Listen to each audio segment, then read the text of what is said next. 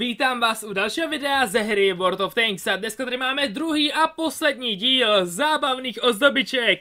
Takže dneska se podíváme na poslední dvě kolekce a na všechny ozdobičky pátých úrovní, protože každá ozdobička páté úrovně má u sebe nějaký zábavný popisek, který je buď narážkou na něco, anebo nějakým tím vtípkem. Takže jdeme na to, půjdeme na kolekce. Samozřejmě, tady to máme, hnedka vedle stromečku. No a minule jsme tady měli nový rok a magickou kolekci. Takže teďka nás čekají tyhle ty dvě napravo. Začneme třeba tady tou spodní. Vánoce, prostě klasický Vánoce. Dalo nám to ozdobičky první úrovně, ono teda všechny ozdobičky jsou úplně úžasný, i ty první úrovně vypadají perfektně. Ale u těch není ten zábavný popisek, takže musíme jít rovnou na pátý úrovně. No a tady už můžeme začít proskomávat, co nám tady všechno připravili. Máme tady mašinku Tomáš, kdysi dávno hluboko přehluboko v džungli.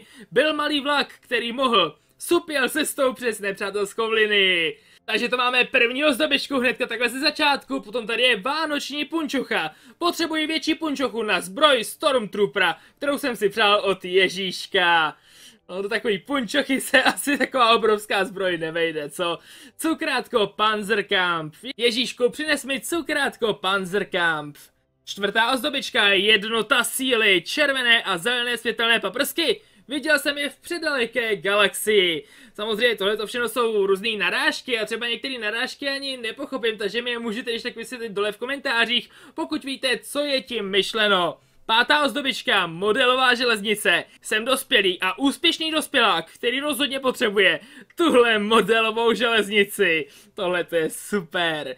Další ozdobička, tady máme Vánoční lucerna, osvětlete svou garáž a přestaňte nacházet těžké věci maličkem na noze. No, to dokáže být docela nepříjemný. Jemná stříbrná girlanda. Nechte si ji na deštivý den. Lesk stříbra vám připomene slávu odehraných bitev. Takže tohle je další krásná ozdobička. Potom tady máme řetěz ze sněhových vloček. Čím snažší, tím lepší. Na tohle kouzlo budete potřebovat jen silný papír, nůžky a nitě. No a pokračujeme samozřejmě. Dál tu máme svítidla ve tvaru cukroví. Jejich olizování rozhodně nebude nejlepší nápad.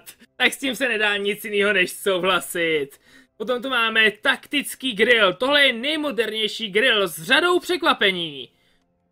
Tady úplně nevím o co jde. Asi kdybychom si ho nastavili přímo do garáže, tak by nám hnedka došlo, co tam je tak speciálního na něm. Takhle to asi nevidíme, ale máme tady další grill a to přímo grill 16. Nic na světě takhle nevoní. Miluji vůni grilování po ránu. Samozřejmě grille 16, že jo. Je úplně jasný, na co tady narážej. Dál tu máme čistá postupka sněhuláků. Spolupráce, dovednosti a smysl pro hru vytváří kombinaci, kterou lze jen stěží porazit. Další tady je skvostný vánoční pokrm. Tuhle večeři si může vychutnat jen opravdový vítěz. Potom už tu máme nějakou tu špičku na stromeček, zrodila se hvězda, no páni, to je ale jasná hvězda. Nastupte do tanku a hrajte. Pokračujeme dál, ještě tady druhá stránka, tady je teda taková kratší, jenom dvě ozdobičky. Tentokrát těch pátých úrovní tady nebude tolik, protože minule jsme koukali i na ty magické ozdobičky a víme, že složit magickou kolekci je úplně to nejtěžší. No ale co tady ještě je? Santova čepice. Nosím ji až do března a potom je země velikonoční zajíček a poslední ozdobička kaskádové osvětlení. Při zavěšování této ozdoby buďte trpěliví, stejně trpěliví jako když nabíjíte BC 15558 se zraněným nabíječem a poškozenou bednou s municí. Dodal bych ještě s ochromením. A jak dlouho to asi může trvat? Já vůbec nevím v tomto případě. Více jak dvě minuty určitě?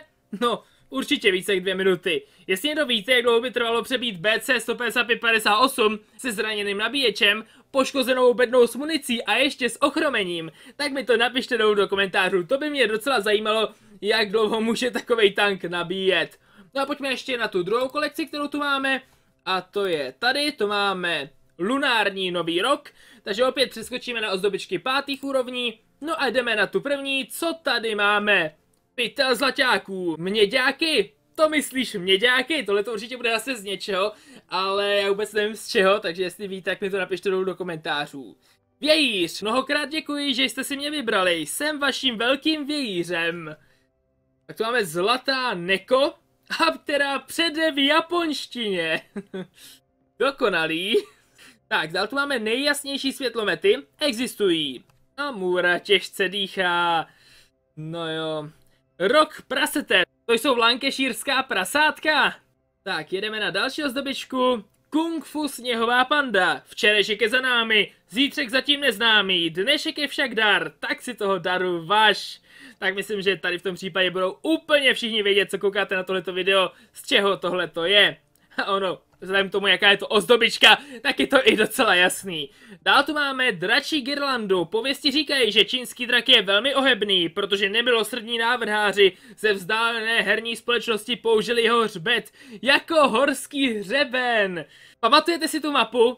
Jestli jo, tak mi to napište do komentářů, protože já si ji pamatuju a pamatuju si dokonce, když se hrála ještě v rotách a to už je opravdu hodně dávno. Více barevné vánoční osvětlení. No, sice to není koberec, ale opravdu spojuje vánoční stromek dohromady.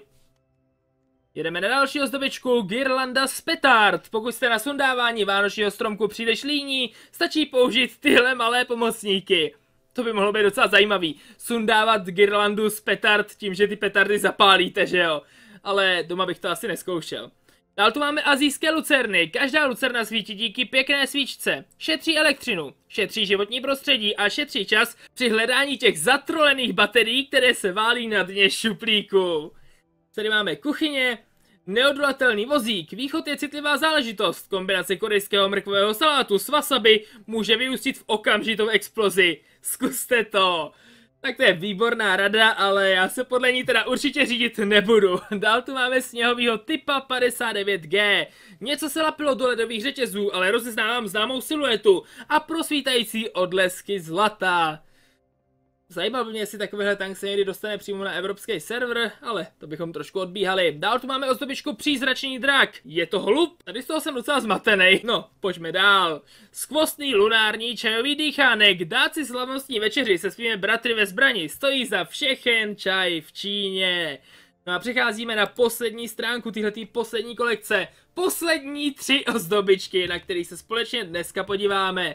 Tak co tu máme? Křišťálová špička, silný těžký tank a opět padla malinovka. Dělostřelectvo se směje. No, dělostřelectvo se ale na malinovce nemusí smát úplně pořád, protože na něj může vyběhnout třeba nějaký lehký tank. Možná nebo spíš ne. Dál tu máme zenová špička. Když se podíváte na špičku tohoto stromku, cítíte neúprostný cyklický výklad kosmické existence v přesně stanoveném pořadí. No a poslední ozdobička, Nádherné lunární osvětlení. Tyhle lampičky z rýžového papíru vypadají jednoduše, ale když chcete udělat něco speciálního, stačí věřit tomu, že je to speciální.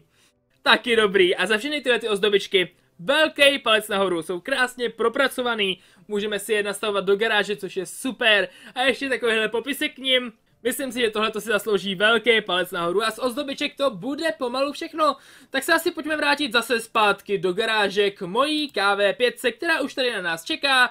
No a s KV5 to dneska ukončíme, protože tohleto video se pomalu dostává na svůj konec. Já doufám, že se vám tohleto video líbilo, ale hlavně, že jste se u něj bavili tak, jako jsem se u něj bavil já, protože pokud ano, tak tohleto video rozhodně nezapomeňte ohodnotit palcem nahoru neboli lajkem. Pokud byste chtěli podpořit a zároveň neprošvihnout žádný další video na tomhle kanále, tak dejte odběr, ale taky mě můžete podpořit tím, že tohleto video budete sdílet. Napište mi nějaký super komentáře, napište mi, která ozdobička vás pobavila úplně nejvíc a jestli třeba u některých těch narážek víte, co je tím myšleno, protože jako vždycky si všechny vaše komentáře pročtu a pokud budete mít nějaké dotazy, pokusím se vám na ně odpovědět. No ale hlavně se na vás budu těšit zase u dalšího videa. Takže zatím čau!